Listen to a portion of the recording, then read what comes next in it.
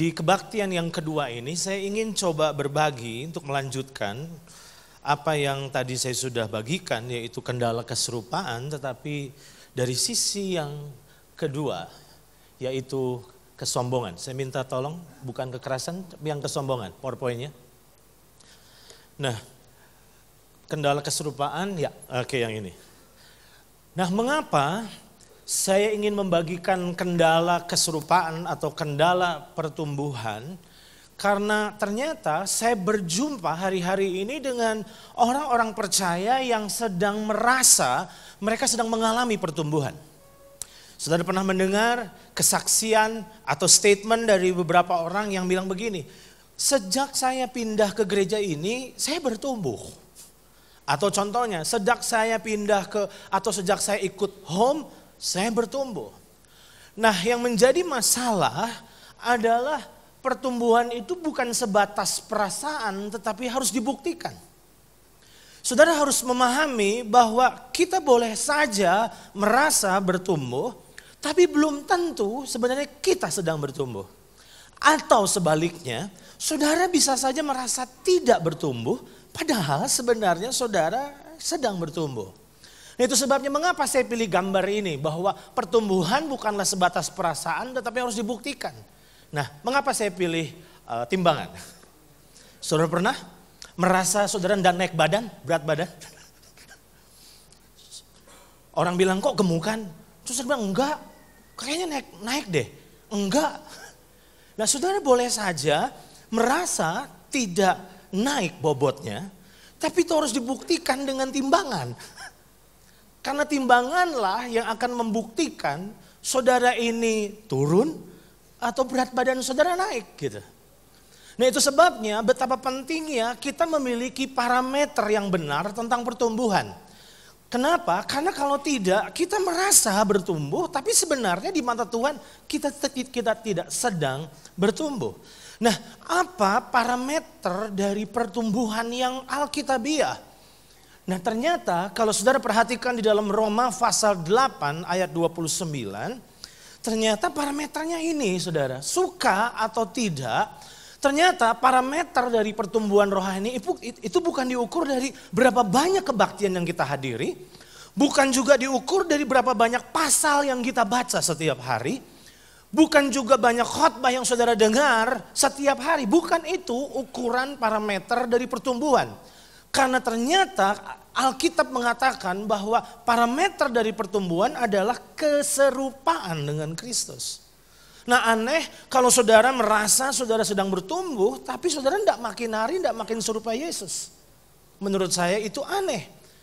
Nah itu sebabnya kalau kita lihat di dalam Roma pasal 8 ayat 29 ternyata firman Tuhan katakan bahwa sebab semua orang yang dipilihnya. Saudara sepakat dengan saya bahwa kita ini orang yang dipilih Tuhan amin. Kalau tidak dipilih Tuhan, tidak mungkin kita ada di ruangan ini. Nah itu sebabnya ayat ini berarti berlaku bagi kita. Yaitu firman Tuhan katakan sebab semua orang yang dipilihnya dari semula. Mereka juga apa saudara? Ditentukannya dari semula untuk menjadi serupa dengan gambaran anaknya. Dalam terjemahan yang lain diterjemahkan harus menjadi seperti anaknya. Jadi Tuhan mengharuskan untuk setiap kita bukan cuma jago kebaktian, tetapi Tuhan mengharuskan supaya kita ini makin hari makin serupa dengan Yesus. Dan saya yakin kalau Tuhan mengharuskan, berarti Tuhan akan pasti menolong kita untuk mencapai hal itu. Oke? Nah sekarang ketika saya coba merenungkan, saya sudah sering mengkhotbahkan tentang pentingnya keserupaan, pentingnya keserupaan. Satu hari saya berpikir, satu hari saya merenung saya dan, dan saya bertanya kepada Roh Kudus. Saya bilang gini, emang seperti Yesus itu seperti apa? Seperti apa? Rambutnya, bajunya, seperti apa? Nah sampai Tuhan ingatkan satu ayat dan membuat akhirnya saya menjadi menjadi dicerahkan oleh ayat ini. Di dalam Matius pasal 11 ayat 29, Ternyata keserupaan dengan Yesus itu ternyata tidak neko-neko kalau orang Jawa bilang. Tidak aneh-aneh, sangat simpel, sangat sederhana.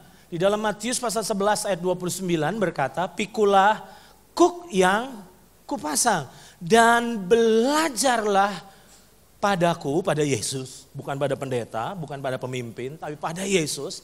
Karena apa saudara? Aku lemah lembut dan rendah hati. Jadi serupa dengan Yesus itu ternyata sederhana sekali. Kalau diintisarikan, kalau mau disimpulkan dari sekian banyak, disimpulkan ternyata sederhana. Makin hari makin serupa dengan Yesus, maka akan membuat kita makin lemah lembut dan makin rendah hati. Nah yang menjadi masalah, Tuhan ingin menjadikan kita seperti Yesus, oke? Okay? Dan kalau seperti Yesus, maka Tuhan akan menjadikan kita pribadi yang lemah lembut dan rendah hati. Nah itu adalah goalnya, oke? Okay? Itu adalah goalnya, itu adalah sasaran yang hendak Tuhan capai. Nah yang menjadi masalah adalah ini, berarti kalau ada goal, maka ada titik keberangkatannya. Oke, okay? kalau nanti malam saya akan kembali ke Cirebon, titik keberangkatannya di, di sini di PPJ. Nah, goalnya, sasarannya adalah lemah lembut, rendah hati. Nah, di mana titik keberangkatan atau di mana kita sedang berada saat ini? Nah, sekarang waktu saya renungkan ini, Roh Kudus sederhana sekali berhikmat buat saya gini. Kalau mau tahu lemah lembut, rendah hati, pahami saja tentang lawan katanya. Dan ternyata setelah saya merenung, lawan kata dari lemah itu kuat. Lawan kata dari lembut itu keras atau kasar. Dan lawan kata dari rendah hati tentu kita tahu yaitu tinggi hati. Nah sekarang saudara sadar akui atau tidak bahwa tiga masalah ini yang menjadi kendala kita serupa Yesus? Itu sebabnya saya menyimpulkan ada tiga kendala keserupaan. Kendalanya apa itu? Yang pertama kekuatan. Yang kedua kekerasan.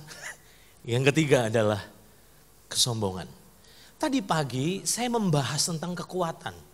Apa kaitannya kekuatan itu kenapa menjadi penghalang untuk kita serupa Yesus? Tadi pagi saya tidak ulang itu, saudara bisa nanti ikuti dari YouTube-nya. Tetapi kendala yang saya akan bagikan di kebaktian ini bukan yang kedua, tapi yang ketiga. Kendala yang kedua nanti saya bagikan di kebaktian yang ke sore. Nah, kendala yang kedua adalah kendala ketiga adalah kesombongan. Sekarang, Lihat ini. Saudara sadar bahwa Tuhan akan memakai apa pun dan siapa pun dalam keseharian demi mengikis kekuatan, kekerasan, dan kesombongan kita? Demi dia menjadikan kita menjadi pribadi yang lemah lembut dan rendah hati. Saya enggak, kalau saudara masih ingat, saya pernah melepaskan statement di mimbar ini. Jangan pernah berdoa atau berupaya merubah sesuatu atau seseorang yang Tuhan sedang pakai mengubah diri kita. Kalau saudara masih ingat itu, saya ulang, saya akan ulang lagi. Jangan pernah berdoa atau berupaya untuk mengubah seseorang atau satu keadaan yang sebenarnya Tuhan sedang pakai untuk mengubah diri kita. Yang menjadi penyakit dari kita adalah kita ingin sekali mengubah semua yang ada di sekitar kita sesuai dengan keinginan kita. Betul nggak itu? Mengubah suami, mengubah istri, mengubah anak, mengubah mertua, mengubah siapa saja. Dan kita ingin supaya semua itu jadi seperti apa yang kita ingin. Masalahnya adalah sering kali kita lupa bahwa yang paling diubah, yang paling butuh diubah justru bukan orang lain, tapi diri kita. Tuhan tidak terlalu peduli sama yang di sekitar kita, karena yang jadi fokus Tuhan adalah bagaimana mengubah diri kita. Oke, okay? sasarannya adalah bagaimana supaya kita bertumbuh dalam kelemah lembutan dan kerendah hatian. Nah masalah dari banyak orang, tadi saya katakan, masalah dasar manusia itu cuma tiga. Kekuatannya, ngototnya, kesombongan dagingnya, merasa mampunya. Yang kedua adalah kekerasannya, sukar dibentuk, sukar diarahkan. Dan yang ketiga adalah kesombongannya. Nah sekarang saya ingin untuk mengajak saudara berpikir sebentar. Sadarkah saudara bahwa situasi yang sedang saudara alami hari-hari ini, apa pun itu, sebenarnya ada Tuhan di balik segalanya? Di mana Tuhan sedang berurusan dengan kekuatan kita, kekerasan kita, kesombongan kita. Nah yang menjadi masalah kita tidak paham itu. Nah sekarang slide selanjutnya dibutuhkan sadar diri menurut saya akan keadaan kita yang sesungguhnya. Kalau saudara bisa sadar diri itu anugerah. Karena ada banyak orang lupa diri masalahnya. Kita selalu ngelihat orang bermasalah, tapi kita tidak pernah lihat kita juga bermasalah masalahnya. Nah itu sebabnya dibutuhkan sadar diri akan keadaan kita yang sesungguhnya. Karena sering kali kita lupa bahwa Tuhan itu sedang deal banyak dalam dalam banyak hal dalam diri kita. Nah Amsal pasal 16 ayat yang kedua firman Tuhan bilang begini. Segala jalan orang adalah apa saudara? Bersih menurut pandangannya sendiri. Tetapi Tuhanlah yang menguji hati. Di dalam Amsal pasal 21 ayat yang kedua, setiap jalan orang adalah lurus menurut pandangannya sendiri. Jadi waktu saya baca dua ayat ini saya simpulkan, bukankah kita ini selalu merasa bersih dan selalu merasa lurus?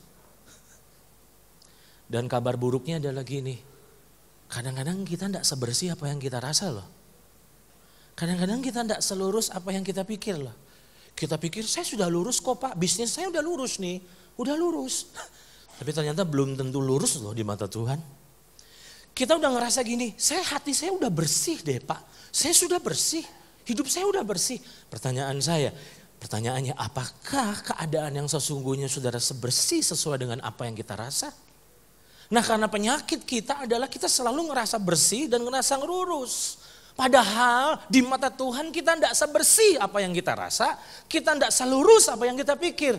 Itu sebabnya dia berurusan dengan kita, dia memakai banyak hal untuk memproses hidup kita demi membuat kita bertumbuh dalam keserupaan. Oke?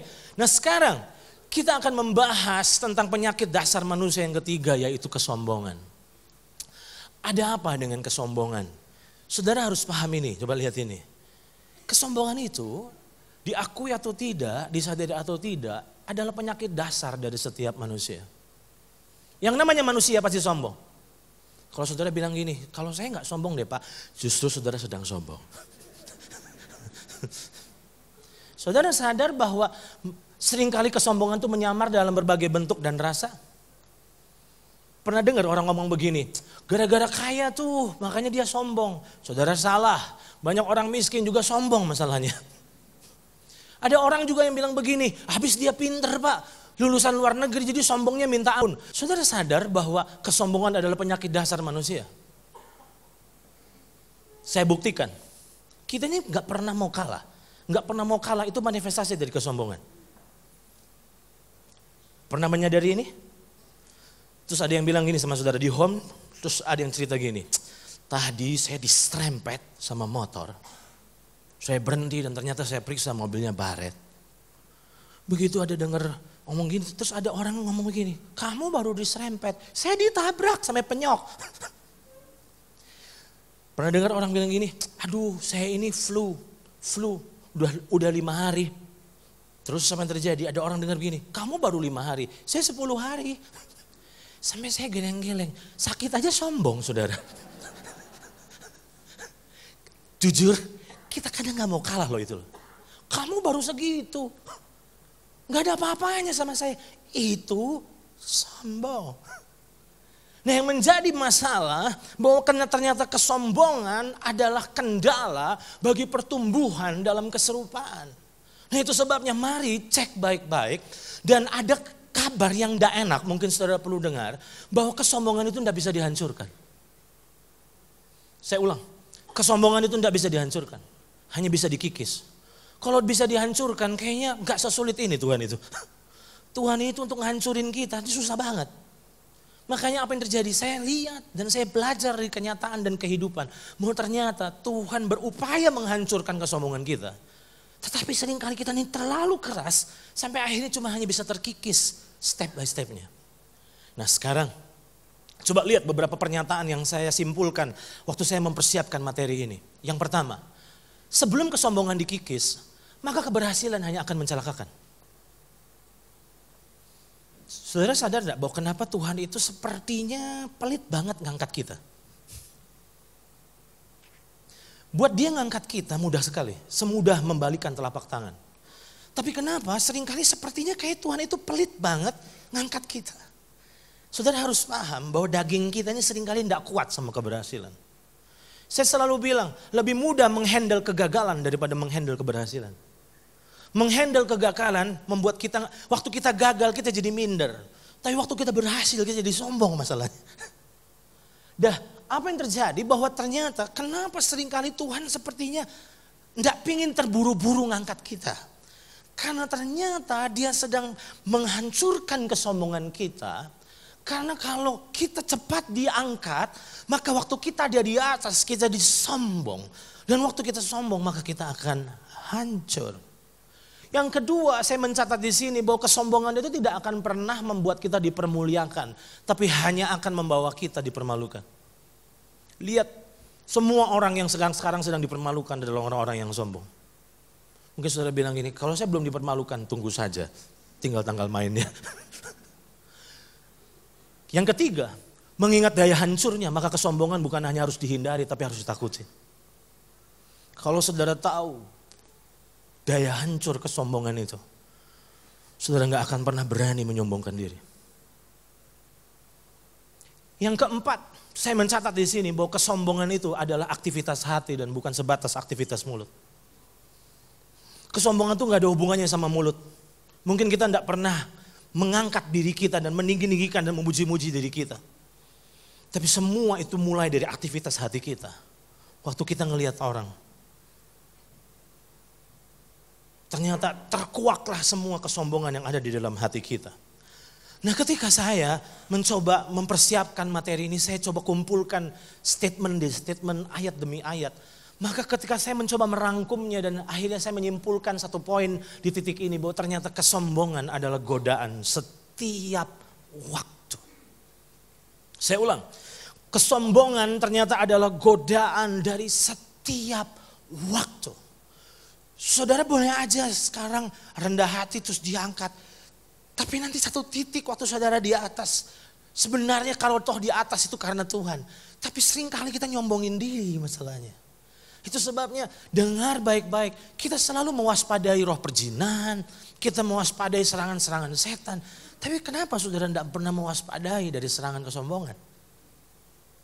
Nah sekarang lihat ini. Cara terbaik menurut saya untuk menghindari jebakan kesombongan adalah dengan mengenali gejala-gejalanya sedini mungkin. Saya ulang, cara terbaik untuk menghindari jebakan kesombongan adalah mengenali gejala-gejalanya sedini mungkin. Nah sekarang, apa gejala-gejala atau tanda-tanda dari kesombongan? Beberapa hal yang saudara perlu lihat ini. Lihat ini, tanda-tanda kesombongan. Yang pertama, di saat kita suka menceritakan yang telah kita lakukan untuk mendapat penghargaan. Saudara pernah ketemu orang-orang kayak gitu? Enggak ditanya langsung cerita banyak. Saya baru dari sini, saya baru ketemu ini, bla bla bla bla bla bla. Dan tanpa sadar sering kali kita cerita itu demi supaya orang tuh kagum sama kita. Yang kedua, mudah tersinggung oleh perkataan dan perilaku orang. Orang sensi itu sombong saudara. Yang ketiga, iri atau kurang suka terhadap keberhasilan orang. Kenapa kita iri? Karena kita merasa lebih berhak dari orang itu. Cek kapan terakhir saudara iri. Coba lihat ini. Pernah lihat orang iri ngomong gini? Orang kayak gitu. Orang kayak gitu diberkati. Berarti di balik statement itu saudara ngerasa lebih baik dari orang itu. Selanjutnya, gila hormat, haus pengakuan, penghormatan. Terus, sukar meminta maaf atau mengakui kesalahan. Maaf itu cuma empat huruf, tapi untuk bisa ngomong itu butuh kasih karunia, saudara. Ada banyak orang-orang tua pantang ngomong kata itu. Padahal udah terang-terangan salah. Para suami, kita lebih rela beliin berlian buat suami, buat istri kita sebagai rasa bersalah. Daripada kita say sorry. Sukar meminta maaf atau mengakui kesalahan itu adalah salah satu bentuk dari kesombongan. Toh masih ingat ini? Saya nggak tahu saya sudah pernah cerita di sini. Kalau minta maaf, saya beri tipsnya. Kalau saudara minta maaf, minta maaf aja. Jangan bilang begini, kalau saya salah, saya minta maaf ya. Itu bukan minta maaf saudara. Kalau saya salah, Pak Hamid, saya minta maaf. Berarti saudara ngasih merasa benar. Terus satu orang komplain sama saya, dia bilang, kok saya kan tidak salah. Saya bilang, Cuman kan di mata dia kamu salah. Ada banyak kali untuk kita bilang, saya salah. Saya minta maaf.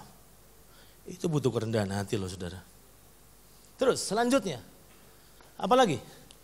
Meremehkan atau merendahkan orang lain. Saudara tahu oh, meremehkan dan merendahkan orang lain sering kali nggak perlu diucapkan tapi dari lirikan mata saja sudah kelihatan. Cara kita mandang dengan sinis. Terus selanjutnya berusaha membuktikan dan menunjukkan diri. Saudara pernah dihina di masa lalu? Terus satu hari saudara ngomong gini, saya keluar dari tempat ini. Satu hari saya mau buktikan. Satu hari saya mau tunjukkan. Saya mau tanya, itu lahir dari apa itu? Sombong. Selanjutnya, sukar mendengar nasihat atau teguran. Makanya saya selalu bilang, tidak ada waktu yang tepat untuk menerima teguran. Percayalah. Tidak ada waktu yang tepat. Karena sering kali kita sebagai pemimpin dikomplain. Ya kalau kasih nasihat, kasih teguran, lihat-lihat waktu. Lalu saya tanya, emang waktu yang tepat menurut kamu tuh kapan? Karena sampai kapan pun ego kita tidak pernah terima. Ada yang senang ketika saudara dikritik dan saudara dengar dan orang itu ngeritik saudara langsung dan saudara bilang saya bersuka cita. Muka saudara boleh munafik tapi hatimu tidak pernah terima sebenarnya. Nah karena ternyata sukar sekali waktu kita mendengar nasihat dan teguran itu adalah manifestasi dari kesombongan. Selanjutnya tidak menghormati otoritas. Itu ternyata kesombongan saudara. Ada beberapa orang selalu berkata pada saya, dia bilang begini, kasih saya alasan untuk saya bisa hormati orang itu. Kasih saya alasan. Nanti di kebaktian sore saya akan jelaskan alasannya apa. Tapi ternyata waktu kita tidak menghargai, tidak menghormati otoritas, kita tidak tunduk dan taat sama otoritas. Kenapa kita sukar sekali? Karena kita ngerasa lebih dari mereka masalahnya. Kita ngerasa gini, orang gitu lebih tahu saya atau enggak. Nah itulah yang membuat sering kali kita sukar untuk menghormati dan mentaati otoritas di atas kita. Selanjutnya, kepahitan itu ternyata manifestasi dari kesombongan. Saudara sadar nggak kalau kepahitan itu ngerasa benar? Dan orang yang salah. Saya lanjutkan. Tidak jujur. Saudara, kalau nggak kalau saudara nggak sadari, hati-hati dengan introvert. Saya tidak sedang saya tidak serang orang introvert di sini. Ada orang introvert, ada orang ekstrovert. Introvert itu tertutup, orang ekstrovert itu terbuka, belak-belakan gitu. Kalau saudara tidak hati-hati, ketertutupan saudara itu manifestasi dari kesombongan loh. Saudara tidak mau cerita kelemahan dan kegagalanmu karena takut orang tidak menghargai hidupmu masalahnya. Jadi kita tutup, kita tutup. Makanya orang sombong itu capek. Kita lebih mikirin pandangan orang dari pandangan Tuhan masalahnya. Nah cek baik-baik, kenapa kita gagal terbuka? Karena kita takut dilihat lemah. Saya mau katakan buat saudara bahwa belajar jujur. Tentu tidak jujur sama semua orang. Tapi kalau di home, di keluarga kita, sama otoritas, yang baiknya untuk kita terbuka. Tuh. Karena itu akan menjadi kunci untuk intervensi dari otoritas untuk bisa menolong kita. Selanjutnya, menuntut orang lain. Apa hubungannya kesombongan dengan menuntut orang lain? Kapan saudara menuntut orang lain? Karena saudara ngerasa saudara lebih dalam hal itu. Merasa lebih, tidak sabar. Ternyata adalah manifestasi dari kesombongan. Pertanyaan saya, bukankah tanda-tanda ini akan menolong kita untuk kita berhati-hati terhadap jebakan kesombongan sedini mungkin? Saya dibesarkan oleh seorang papi yang sangat jenius. Saya katakan jenius bukan karena asal, tapi ada bukti-buktinya. Saking jeniusnya jadi perfeksionis. Dan tanpa sadar, ada satu yang diwariskan dalam diri saya. Ngeritik orang. Lihat, selalu yang dilihat lemahnya. Selalu yang dilihat kurangnya. Iya bagus, tapi ngelatih untuk ngedil dengan itu saudara. Itu butuh kasih karunia. Untuk bisa ngelihat membilangin, itu orang bagus. Bagus. Dan itu ternyata tidak mudah. Kenapa saudara berani kritik orang? Karena saudara ngerasa lebih baik. Betul enggak itu? Kalau saudara tidak ngerasa lebih baik, saudara tidak akan berani mengkritik masalahnya. Nah sekarang, saya akan masuk ke salah satu tokoh di Alkitab. Siapa tokoh itu? Yang mengajar kita tentang apa bahaya dari kesombongan. Orang itu adalah Petrus. Di dalam Injil Lukas pasal 22 ayat 31 sampai 34, perhatikan baik-baik. Petrus itu ternyata adalah seorang murid yang sombong sekali. Dari mana kita bisa tahu? Coba perhatikan ini. Simon, Simon, lihat iblis telah menuntut untuk menampi kamu seperti gandum. Tetapi aku telah berdoa untuk engkau supaya imanmu jangan gugur. Dan engkau jikalau engkau sudah, apa saudara? Sudah apa saudara? Insyaf, kuatkanlah saudara-saudaramu. Jawab Petrus, Tuhan aku bersedia masuk penjara dan mati bersama-sama dengan engkau. Saya mau tanya, statement ini lahir dari hati yang seperti apa? Tapi Yesus berkata, aku berkata padamu Petrus, hari ini ayam tidak akan berkokok sebelum engkau tiga kali menyangkal bahwa engkau mengenal aku. Kalau saudara perhatikan, Petrus adalah seorang murid yang sombong sekali. Dia selalu bilang, dia selalu remehkan orang-orang di sekitarnya. Masih ingat itu? Mereka akan pergi, mereka boleh pergi. Saya ndak akan. Nah saya mau katakan, bukankah itu adalah manifestasi dari kesombongan? Dan apa yang terjadi saudara? Kalau saudara perhatikan baik-baik, kesombongan itu adalah undangan resmi bagi setan untuk menghancurkan hidup kita. Dari mana saya bisa mengucapkan statement ini? Kesombongan itu adalah undangan resmi bagi setan untuk menghancurkan hidup kita. Dari statement Yesus di dalam Lukas pasal 22 ayat 31. Apa statement ini? Simon, Simon, lihat iblis telah apa saudara? Menuntut untuk menampi kamu seperti gandum. Saya tertarik dengan kata menuntut. Nah saya mau tanya, diizinkan nggak sama Tuhan? Diizinkan? Ya diizinkan. Nah kenapa sampai Tuhan harus izinkan? Jelas karena ada kesombongan dalam hati Petrus yang harus dibereskan. Dengar baik-baik saudara. Orang yang rendah hati itu bikin frustasi setan. Dia tidak punya celah. Tapi ketika saudara menyombongkan diri, nggak peduli sehebat apa pun saudara, sekuat apa pun saudara. Begitu saudara sombong, jadwal kejatuhan dan kehancuran sudah bisa ditebak dan dipastikan. Sekarang, sadarkah saudara berdasarkan satu Petrus pasal 5 ayat yang kelima, Allah menentang orang yang congkak. Dalam terjemahan lain Allah melawan orang yang congkak dan sombong. Nah pertanyaannya, bukankah dari ayat ini kita bisa menarik sebuah kesimpulan bagaimana cara iblis menjadikan kita sebagai musuh Allah? Sederhana, dengan dia mengompori kita untuk kita sombong. Saudara setuju nggak? bahwa Tuhan tuh nggak pernah mau memusuhi kita. Betul? Tuhan sangat mengasihi kita.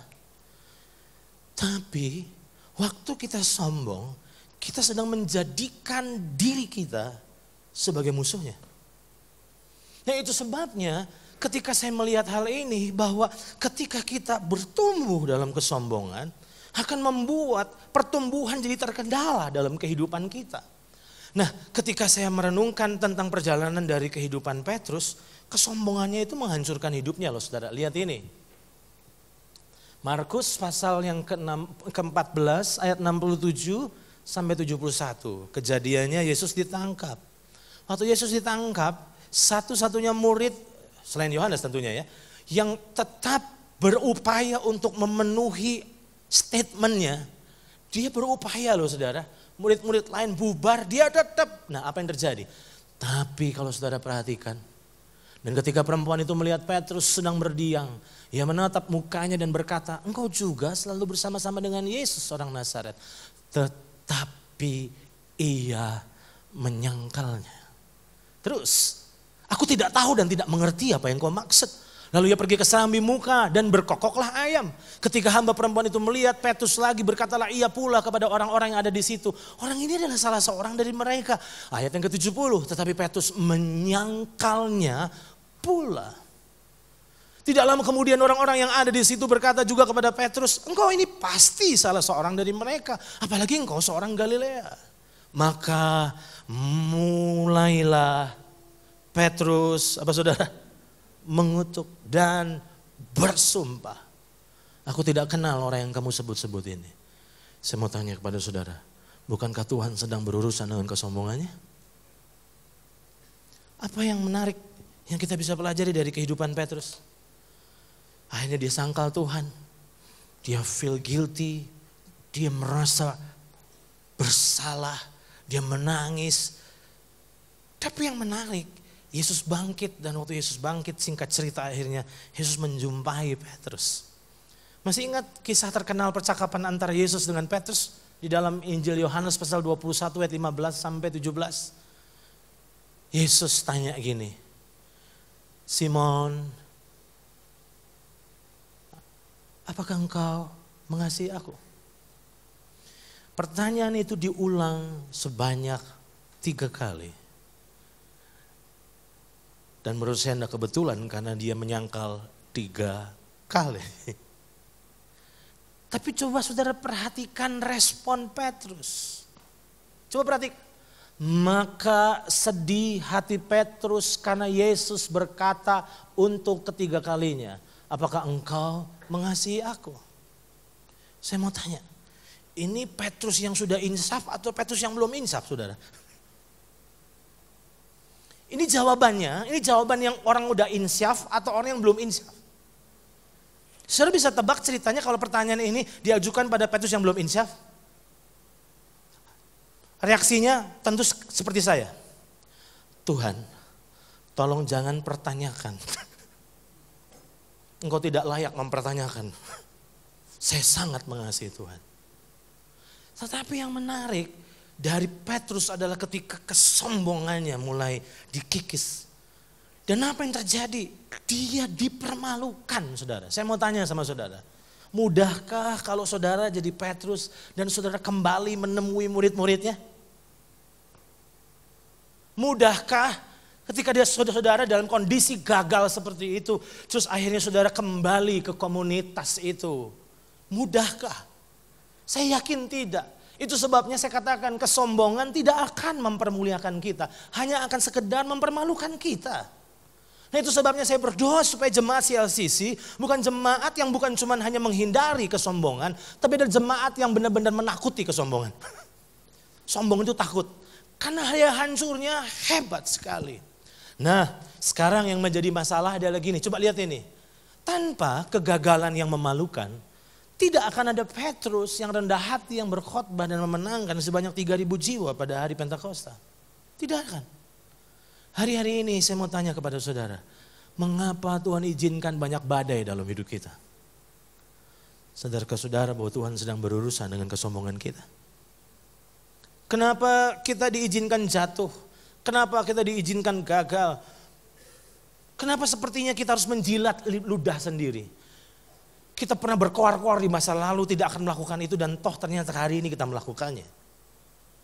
Dan di titik itu akhirnya kita tidak berani lagi untuk membanggakan diri. Dan saya mau katakan kepada saudara, ingat Tuhan sedang berupaya untuk mengikis kesom, kesombongan. Karena Tuhan ingin supaya kita menjadi seperti Yesus. Dan seperti Yesus adalah lemah lembut dan rendah hati. Nah coba saudara perhatikan baik-baik dari perjalanan kehidupan Petrus. Ketika saya merenungkan ini, maka saya tiba pada sebuah poin selanjutnya. Bahwa hanya ada dua pilihan dalam hidup kita. Tidak ada pilihan ketiga. Pilihan pertama, merendahkan atau pilihan yang kedua, direndahkan. Merendahkan adalah keputusan dari dalam. Direndahkan adalah paksaan dan tekanan dari luar.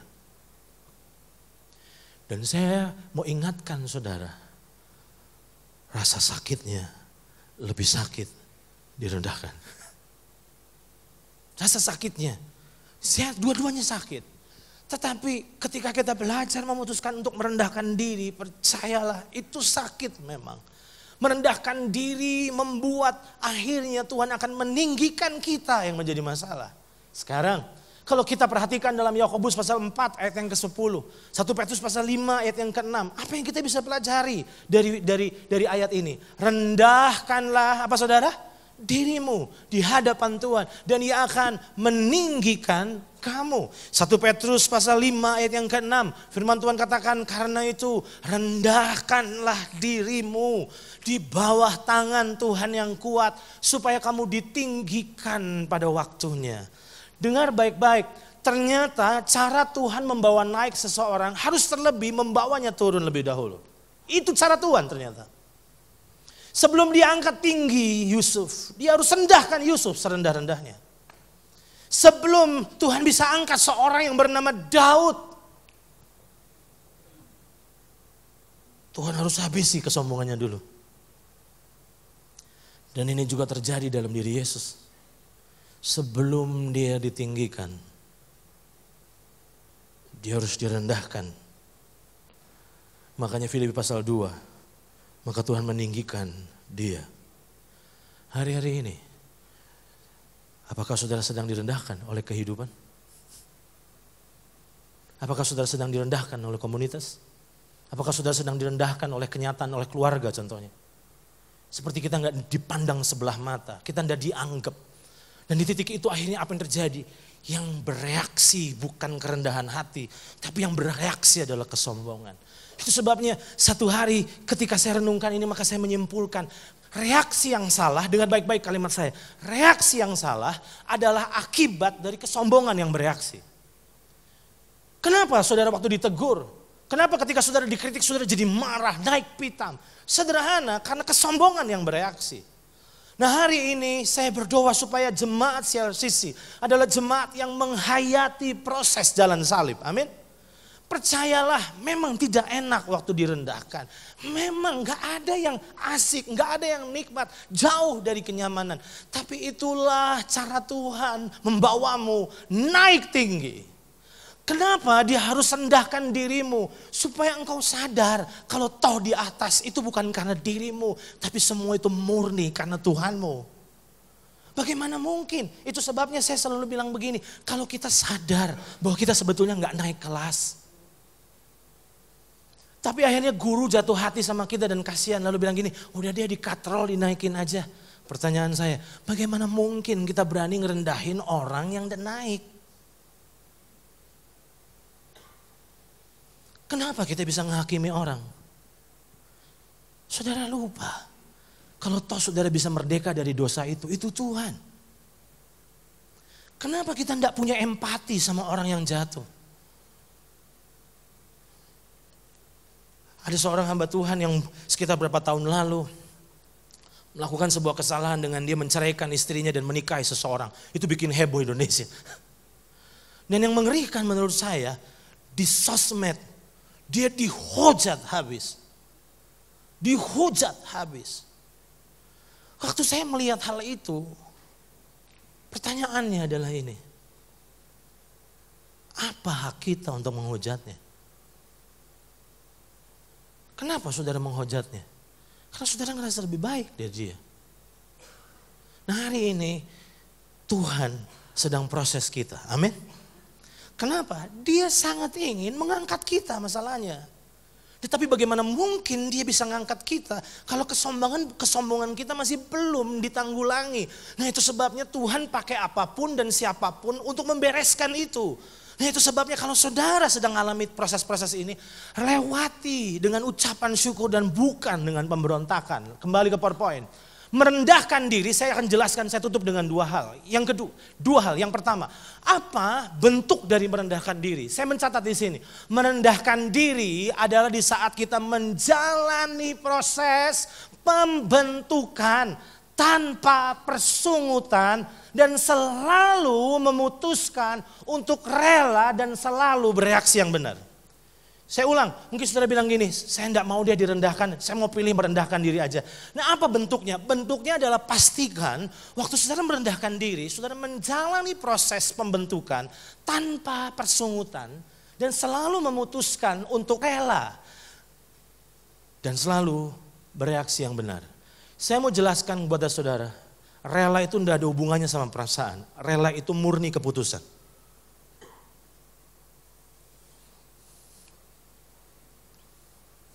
Ada seorang pelayan Tuhan, Di salah satu gereja.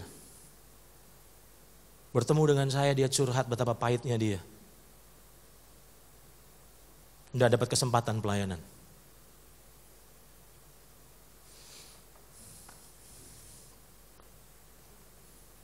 Waktu saya dengar keluh kesahnya dan betapa pahitnya hatinya. Saya bilang gini, bukankah Tuhan sedang merendahkan dirimu? Kalau engkau pikir pindah gereja, yang rugi bukan gerejamu, yang rugi adalah dirimu. Saudara pernah mengalami titik bahwa sepertinya keadaan sedang merendahkanmu? Dan sering kali kita tidak rela. Saya mau berikan statement penting ini, dengar baik-baik. Kalau saudara tidak rela, Tuhan rela. Tapi kalau saudara rela, kabar baiknya Tuhan yang tidak rela. Saya ulang. Kalau saudara tidak rela di proses gitu terus saudara berontak. Sebagai bapak dia relakan saudara digituin.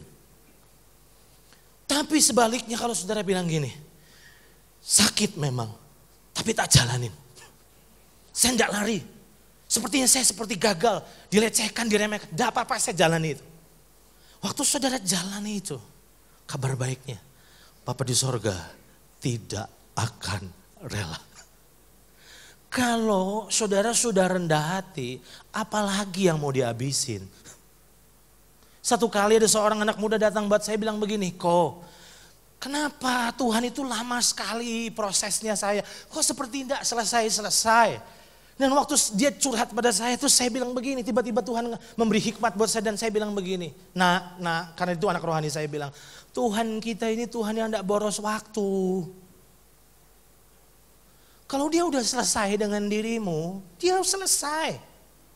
Jadi pertanyaannya bukan sampai kapan. Justru yang tanya itu Tuhan sama sama kita, sampai kapan? Nah, merendahkan diri adalah keputusan untuk menjalani proses kegagalan, direndahkan dan kita tidak berontak tapi melewati prosesnya. Dan saya yakin ketika Tuhan melihat kita jalani itu, ada kasih karunia Tuhan yang tersedia untuk kita mampu melewatinya. Amin. Selanjutnya, yang kedua, kalau saudara perhatikan di 2 Korintus pasal 12 ayat 7 sampai 10. Kalau ada orang yang berhak dan layak untuk sombong menurut saya adalah Paulus. Dia mendapat pengalaman yang sangat luar biasa. Diangkat Tuhan ke surga. Dia mendapat banyak pewahyuan yang istimewa. Semua orang menginginkan apa yang pernah dialami oleh Paulus.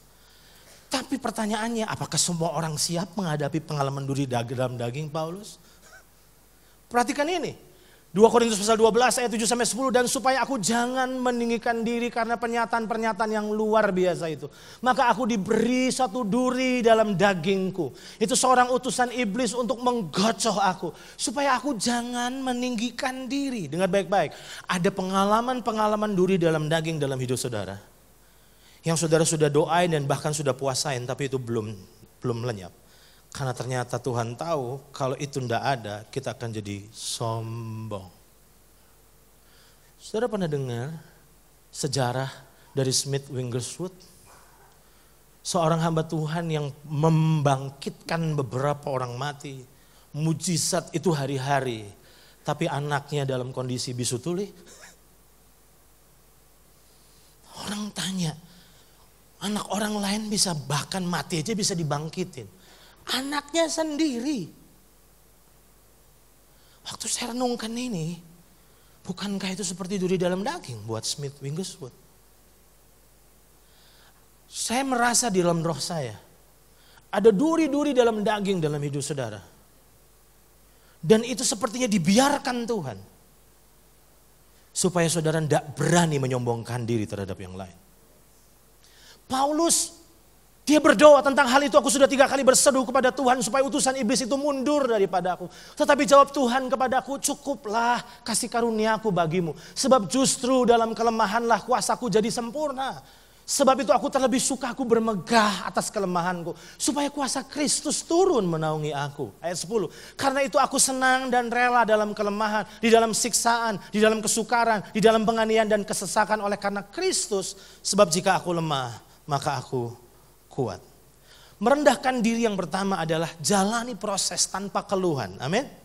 Itu yang pertama. Merendahkan diri yang kedua bentuknya adalah gini. Lihat ini saudara.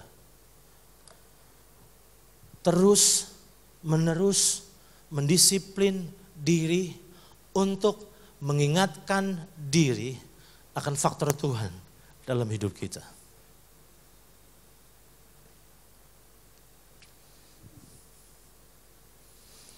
Satu kali saya pelayanan di salah satu gereja. Gembalanya di salah-salah kebaktian pertama, kedua, gembalanya ajak saya ke ruangannya. Dalam perjalanan menuju ke ruang hamba Tuhan itu, rupa-rupanya gembala itu cerita bahwa ternyata dia ikuti khotbah-khotbah saya di YouTube. Waktu dia cerita, dia bilang, Pak, saya diberkati sekali sama Bapak. Terus yang menarik adalah ini, dia mengucapkan satu pertanyaan penting. Dia bilang begini, saya mau tanya, di mana Bapak sekolah Alkitab? Dan saya bilang gini sama saudara, ini loh, namanya bermegah dalam kelemahan itu seperti ini. Pak, saya ini cuma lulusan STM Pak. Kuliah aja nggak bisa. Apa yang saya mau banggain? Semua Tuhan Pak.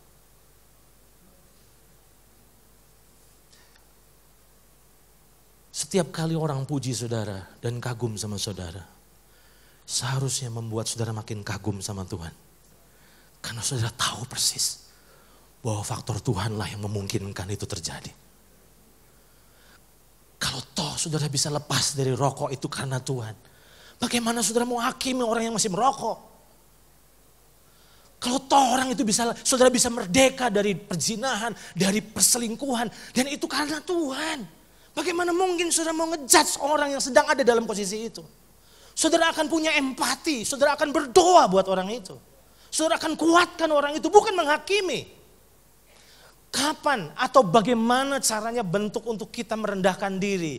Dengar baik-baik, ingatkan dirimu terus bahwa itu karena Tuhan, semua karena Tuhan, semua itu Tuhanlah yang menjadi penyebabnya. Sekarang saya akan masuk ke titik ini, lihat ke korban kembali. Saudara sadar bahwa kasih karunia itu adalah solusi dari kesombongan manusia? Tuhan tahu daging kita ini nggak kuat sama kemuliaan.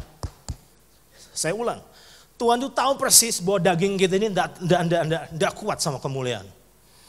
Pasti selalu curi-curi kemuliaan masalah. Padahal Tuhan yang ngerjain, terus kita yang ngerasa, oh saya yang ngerjain kok. Padahal kita lupa bahwa semuanya karena Tuhan yang mengerjakan di dalam diri kita. Toh kalau kita mampu itu karena Tuhan yang mengerjakannya. Nah sekarang, sadarkah saudara bahwa kasih karunia adalah solusi dari kesombongan manusia? Bagaimana saudara bisa sombong kalau saudara sadar bahwa semua karena kasih karunia? Tadi pagi saya katakan, saudara boleh sombong bahwa saudara bilang gini, Pak, saya bisa berhasil ini karena kerja keras. Saya akan tunjukkan sama saudara, orang yang lebih kerja keras dari saudara masih gagal. Saudara mungkin bilang begini, e, Pak saya bisa berhasil ini karena saya pintar. Saya akan tunjukkan sama saudara orang yang jauh lebih pintar dari saudara, tapi masih jadi tukang beca. Saya jadi ingat statement percakapan Dennis Demenis dengan temannya. Kalau saudara pernah lihat film kartun masa lalu itu, Dennis ini anak yang kalau orang Bandung bilang bangor ya. Suka gangguin tetangganya yang namanya Tuan Tuan Wilson. Nah satu kali Dennis bersama dengan temannya itu main ke rumah Tuan Wilson dan hari itu Tuan Wilson tidak ada di rumah. Yang ada cuma istrinya Nyonya Wilson. Dan apa yang terjadi? Nyonya Wilson itu apa yang terjadi itu dia dia lihat dua anak kecil ini terus dia kasih cookies, kasih cookies. Waktu dia kasih cookies lalu apa yang terjadi mereka senang. Yang namanya anak kecil terus mereka nikmatin. Dan ketika mereka keluar dari rumah Tuan Wilson itu, sahabat teman dari Dennis itu bilang begini, ini bagus banget memberkati saya. Dia bilang begini, Dennis, perbuatan baik apakah yang membuat Nyonya Wilson memberi kita hadiah seperti ini? Jawaban dari Dennis Jimenez itu diurapi Tuhan menurut saya. Dia bilang begini, bukan kita yang baik sampai kita dapat berkat ini. Nyonya Wilson yang baik kita sering kali tergoda.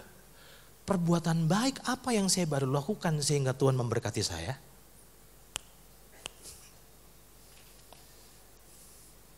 Kadang-kadang kita tergoda untuk melihat gereja yang berhasil, lebih berhasil dari kita. Terus kita lihat, belajar dari sana, terus kita lihat apa rahasianya. Sampai kita sekolah ke sana, terus kita pulang ke sini, ngerjain katanya formula keberhasilan mereka. Tapi waktu saudara lakukan, saudara kecele, gigit jari, karena ternyata hasilnya tidak sespektakuler yang di sana. Jawabannya karena mereka dapat kasih karunia. Tuhan tahu kita ini sombong. Itu sebabnya dia banjiri kita dengan kasih karunia-Nya. Sampai waktu kita mau nyombongin diri, Roh Kudus bisikin di telinga kita, jangan sombong. Jangan lupa diri. Semua ini karena Tuhan. Hari ini, apa goal? Pemain musik bisa tolong masuk ke depan. Apa goal dari pengajaran ini? Goalnya adalah ini. Kerendahan hati, dan kesadaran akan faktor dari kasih karunia. Saya ulang, apa goal dari pengajaran hampir 45 menit lebih ini? Goal dari teaching saya di kebaktian kedua ini adalah bagaimana kita bertumbuh dalam kerendahan hati dan kesadaran akan faktor kasih karunia Tuhan. Kabar baiknya, Tuhan sedang beracara dalam hidup saudara. Amin. Tuhan sedang berurusan dengan saudara. Apa yang sedang dia urus dalam hidup kita? Tiga hal. Kekuatan kita. Yang kedua, kekerasan kita. Yang ketiga adalah kesombongan kita. Sehingga ketika kita makin sadar akan faktor kasih karunia, makin kita akan mengangkat tangan dan mengucap syukur dan mengagumi semua bentuk kasih karunia dalam hidup kita. Selamat mengalami pengikisan kesombongan. Pastikan saudara memilih merendahkan diri dan jangan memilih direndahkan. Tuhan berkati kita semua.